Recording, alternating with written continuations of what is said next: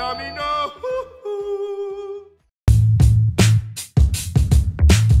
Celebrating Michael's ceremony, he and his family have a celebration surprise for him. But shh, don't tell Daddy.